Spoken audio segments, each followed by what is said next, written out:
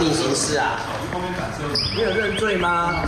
穿着蓝色衬衫走出侦讯室，前督发局长黄景茂经过漏夜侦讯五小时之后，涉及图利罪嫌，以五百万元交保，并且限制出境出海以及住居。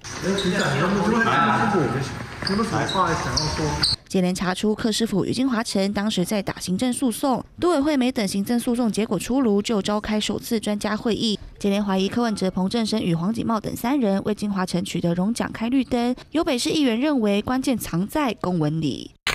检视二零二零年九月二十一号公文，其中第二点提到该指非都跟地区，但金华城所拟的容积奖励均引用都跟建筑容积奖励办法内容，应该先厘清引用法令条文的适法性。但第四点又提到，要求金华城在同年九月三十号前提供相关资料，同时为争取时效，都发局会同步召开专家学者会议，协商申请案容积奖励的合理性与可信性。为什么都发局针对一个私人的改建案这么样子的积极的？来帮他召开专家学者会议，还提到争取时效呢。假设说在柯文哲卸任之前，金华城的案子跟建造仍然没有通过的话，新上任的市府恐怕在召开都委会议或专家学者会议，很有可能会再次以司法性的问题来驳回金华城的要求。公文所提到的为争取时效性，恐怕就是关键。不止公文内容矛盾，今年五月专案小组第五次会议约访黄景茂与彭正。更深，